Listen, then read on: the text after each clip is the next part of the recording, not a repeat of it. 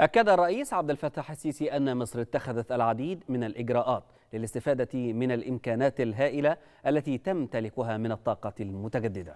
كما شدد الرئيس السيسي على أن مصر تحرص على تذليل العقبات أمام جميع المستثمرين. ويعد المشروع العملاق لإنتاج الهيدروجين الأخضر في المنطقة الاقتصادية لقناة السويس والتي تعتبر من أهم المواقع الجغرافية على مستوى العالم. وهو ما يمكننا من تصدير الهيدروجين الأخضر بسهولة إلى أوروبا ومختلف القارات الأخرى.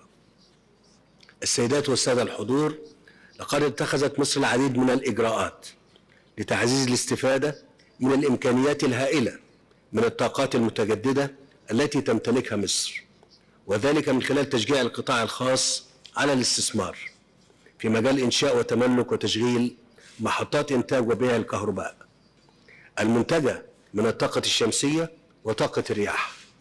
كما تحرص الدولة المصرية على تذليل أي عقبات تعوق تلك الاستثمارات ووضع خارطة طريق لزيادة نسبة تلك الاستثمارات خلال السنوات القادمة.